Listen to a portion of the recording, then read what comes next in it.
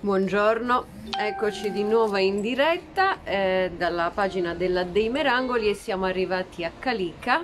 Finalmente un personaggio femminile in questa storia dove Catorchio è circondato da maschi, come un po' nella nostra società, il potere è tutto maschile e quando è femminile è sempre ehm, in questo modo eh, realizzato con modalità maschile.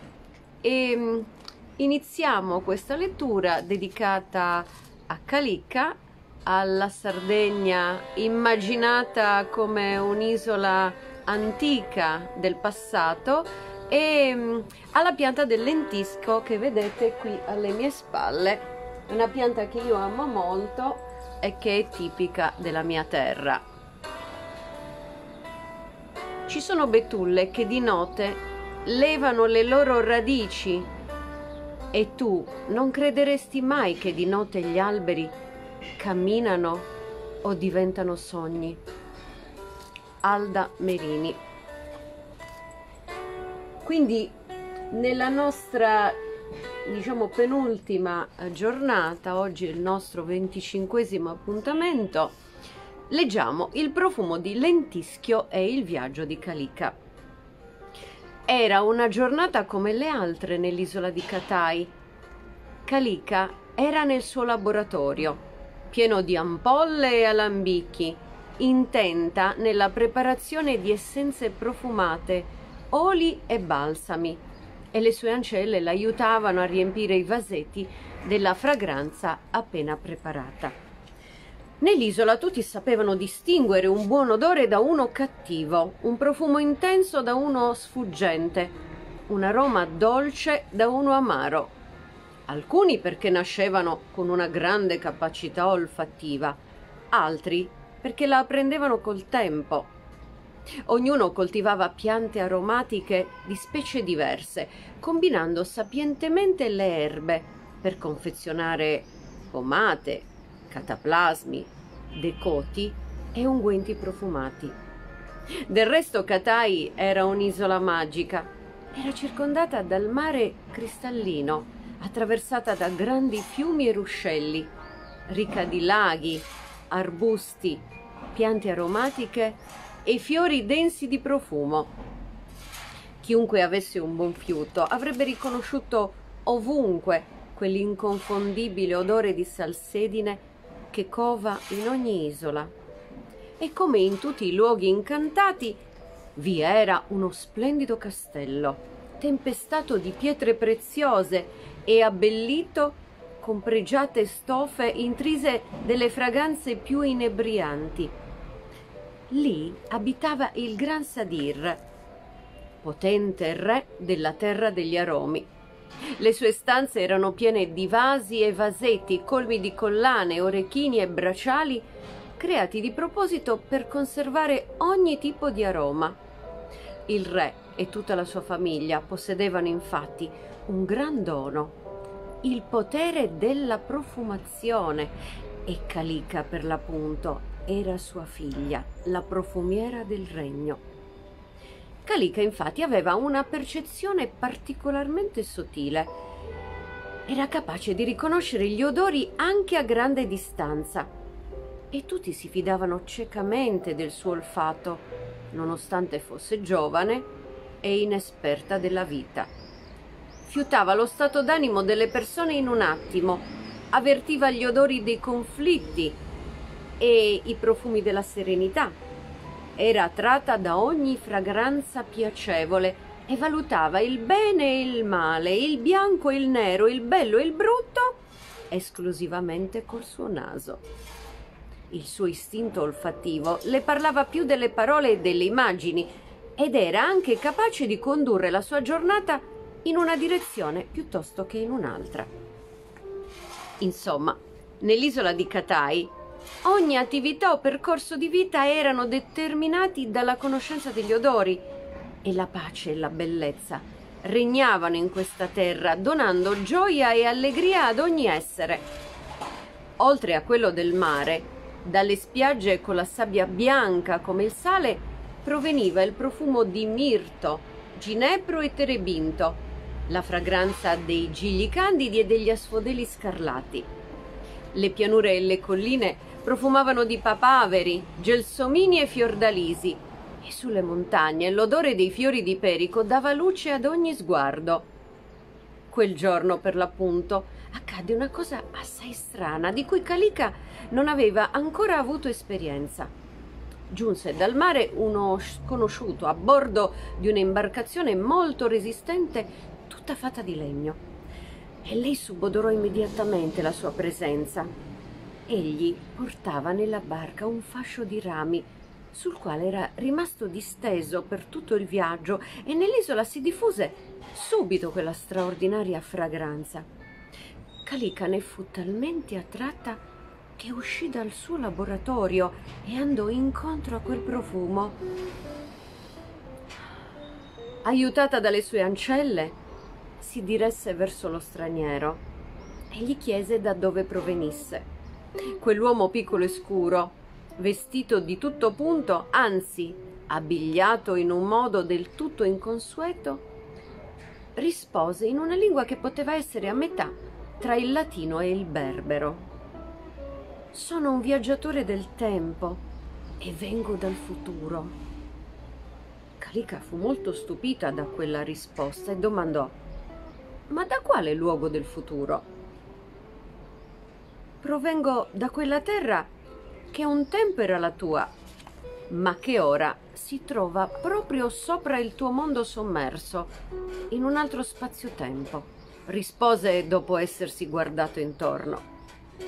Calica non comprese bene ciò che le disse lo straniero, ma grazie al suo olfatto si accorse che l'uomo, da quando si era allontanato dalla sua barca, non emetteva più alcun odore. Per quanto si sforzasse, il suo naso non percepiva assolutamente nulla. E questa era una grande novità. Allora chiese all'uomo, perché il tuo corpo è assolutamente inodore?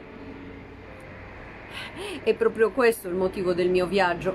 Alcuni uomini del mio tempo stanno perdendo il loro odore e anche la capacità di percepire i profumi e le puzze del mondo. La macchina del tempo mi ha portato fin qui per chiedere il tuo aiuto. Ma tu hai questa pianta molto profumata, come si chiama? Somiglia al nostro terebindo o al nostro pistacchio, ma è molto più odorosa. È per questo che l'ho trasportata sulla mia barca ed è lei che mi ha condotto subito da te. Tu devi essere Calica, la profumiera del regno di Katai. Esatto, sono proprio io. Nel futuro ti conosciamo come la più potente profumiera di tutti i tempi. Abbiamo bisogno che tu ci insegni a riappropriarci del nostro olfatto e in cambio ti daremo mille sacchi di semi di questa pianta, in modo che tu possa creare nuovi potenti e magici profumi. Kalika si stupì per quella strana proposta, ma la sua curiosità era infinita, quindi esclamò ma come posso aiutarvi? Vieni nella nostra terra. Vorremmo farti conoscere un nuovo profumo con questa nostra pianta che si chiama lentischio e ti chiederemo di comporne proprio uno con questo suo aroma.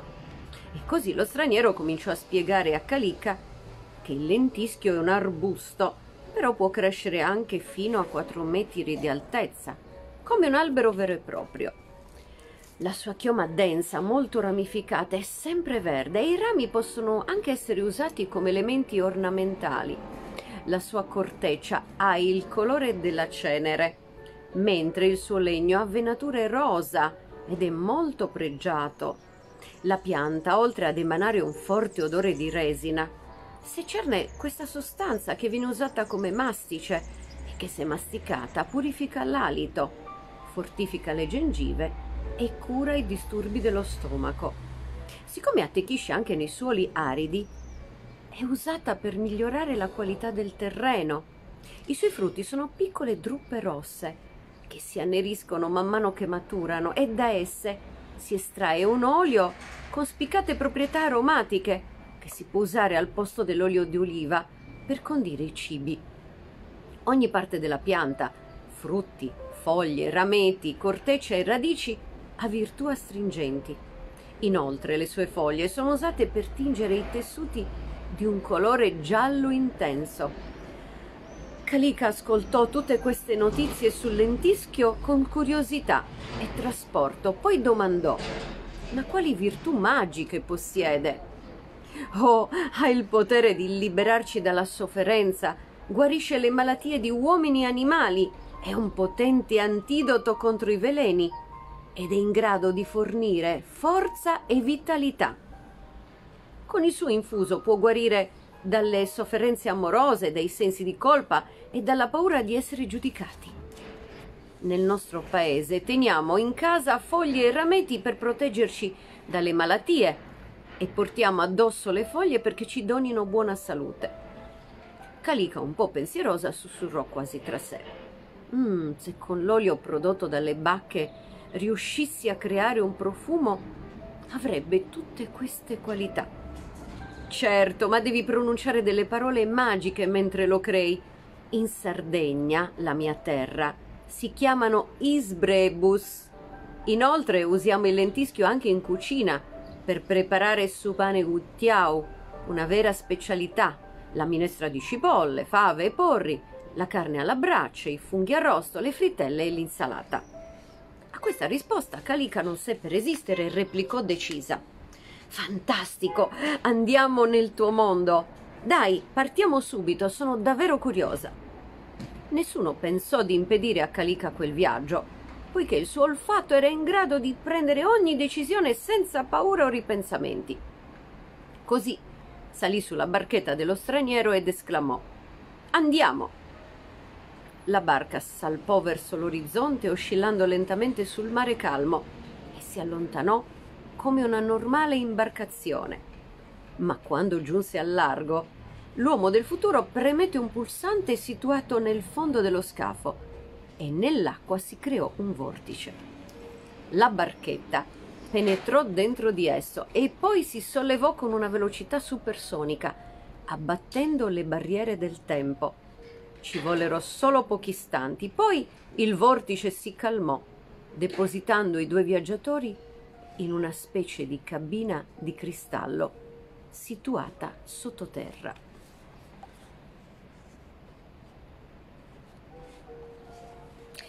Ecco, siamo arrivati. Questo è il fondo dell'antica miniera abbandonata di Ingurtosu.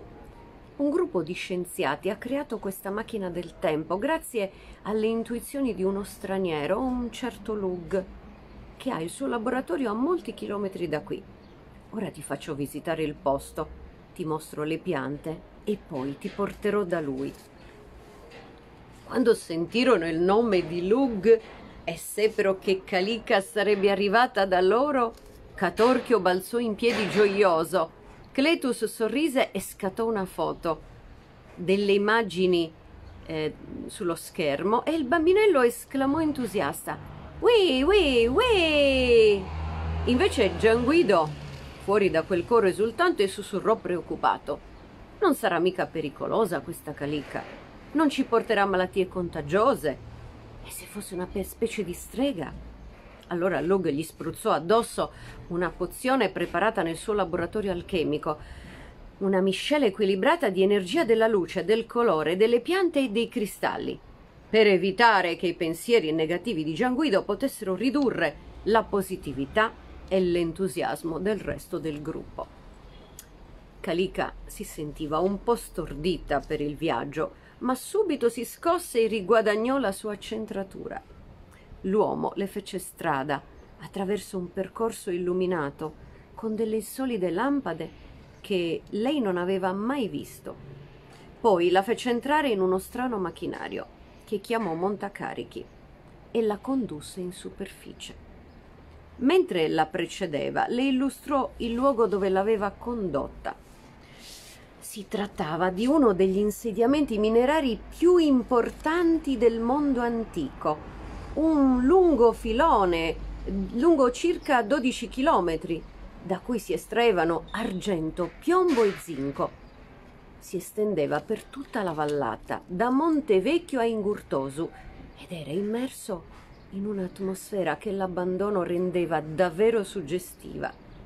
Calica proveniva da un tempo ancora precedente e osservava con meraviglia quel paesaggio che apparteneva al suo futuro, ma che era già fuori dal tempo per lo straniero. Distingueva le esalazioni di muffa dei ruderi, quelle del metallo degli impianti, degli enormi cumuli di materiale di scarto e dei carrelli arrugginiti e il tanfo di terra proveniente dai pozzi profondi. Sembrava di attraversare un villaggio fantasma in cui tutti gli effluvi del passato si erano cristallizzati nei muri e nei vagoni sospesi nella memoria del tempo. Mentre si inoltravano nel paesaggio un po' spettrale, Calica apprese che quel luogo era denominato in diversi modi. Sugurtuju, ossia avvoltoio, come l'uccello che planava su quella valle, ma pure su Ingurtidroju, cioè l'inghiottitoio, in riferimento allo scavo minerario di origini antichissime, costituito dalla rete di cunicoli sotterranei che aveva inghiottito tante vite umane. Infatti, il posto era anche noto come Valle dei Sanimas, in ricordo di quei poveri minatori che avevano trascorso l'esistenza sottoterra, più morti che vivi, una pletora di piccoli uomini nani e nanetti che nelle viscere della terra si mischiavano con gli spiriti elementali degli gnomi che abitavano nel sottosuolo. Calica attraversava stupita quel paesaggio dirocato e deserto, incastonato tra montagne desolate, ma era sorpresa dai profumi sublimi che le sue narici già riconoscevano. Quando arrivarono sulle dune di Piscinas, le perle della Costa Verde, Trapistis, Torre dei Corsari e Scivu, il suo cuore sobbalzò per la magia di quelle piccole montagne alte un centinaio di metri e fatte di sabbia dorata, un paio di chilometri di giganti d'oro che sembravano parzialmente conficcati nel deserto. E lei odorò quel vento fresco, a volte leggero, a volte sferzante, che aveva scolpito la loro forma con la sua prolungata e incessante azione. Il maestrale prima donava energia al mare che sospingeva le sabbie sulla costa, poi soffiava con impeto per spingerle verso l'entroterra, creando colline rotonde. Infine le modellava con le sue braccia instancabili e costantemente protese verso la sua scultura.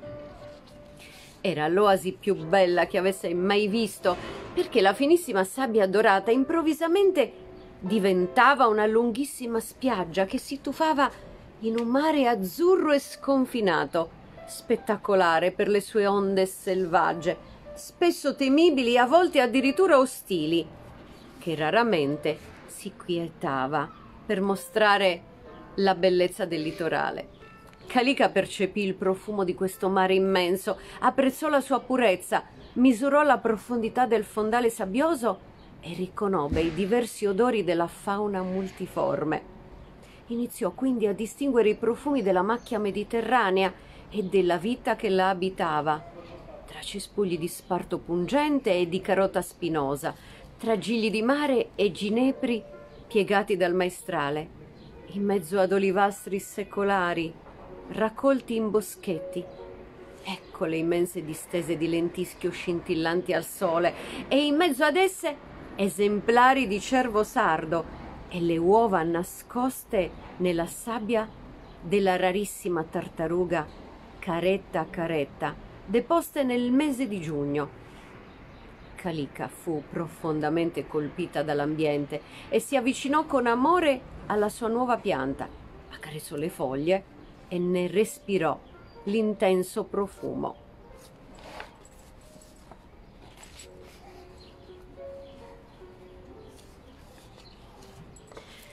A quel punto anche Catorchio e Cletus avevano raggiunto i rami del lentischio e respiravano a pieni polmoni il suo aroma, mentre il bambinello era rimasto incantato dalla bellezza e dalla personalità di Calica.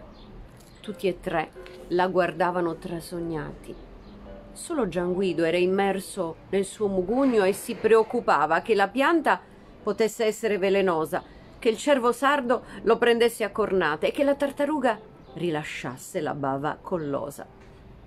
Gli altri invece intuirono che nulla della natura selvaggia di questo posto potesse davvero far loro del male e si abbandonarono a quella infinita grazia, estasiati dalla passione con cui Calica si avvicinava alla pianta, dall'eleganza principesca del suo incedere, dalla gentilezza con cui accarezzava il lentischio, dallo sfavillare del suo sguardo emozionato. Non avevano mai visto una creatura capace di sprigionare una bellezza così totale e trascinante. E questa è l'illustrazione sempre di Niccolò Pizzorno dell'allegra brigata che si sta costituendo, dove è arrivata finalmente Calica, un personaggio femminile che guiderà il loro futuro. La pianta del lentischio è questa che vedete alle mie spalle, una pianta che ho iniziato ad amare solo uh, dopo tanto tempo sembrava una pianta mh, mm, normale, senza grandi eh, scintillii. Quando la vedevo sempre sulle coste, al mare, poi mi sono resa conto che mentre le altre piante perdono le foglie e diventano um, e perdono il loro verde brillante, il lentischio sempre rimane così, con questo colore verdeggiante che mi ricorda molto la mia isola. E poi nascono pure delle bacche bellissime, rosse, così rosse, che sono i frutti del lentischio, queste, truppe, eh, queste drupe rosse. Quindi vi do appuntamento alla prossima puntata, sempre alle 10, sulla pagina delle, della Dei Merangoli con eh, questa fiaba dedicata a una pianta molto famosa in Sardegna che insieme al mirto la caratterizza e al ginepro e ehm, al, ehm, alla località di Piscinas, alle miniere di Ingurtosu che sono dei paesaggi che dovete assolutamente vedere, che dovete assolutamente eh, conoscere eh, prima di andare a girare tutto il mondo, vedetevi questa bellissima parte della nostra isola eh, molto misteriosa e, mm, e soprattutto, eh, diciamo, in questa fiaba c'è l'ipotesi eh, che un nostro giornalista ha fatto che la Sardegna possa essere stata l'antica Atlantide. Chissà, non lo potremo mai sapere, però ci piace di crederlo. Un saluto a tutti, alla prossima.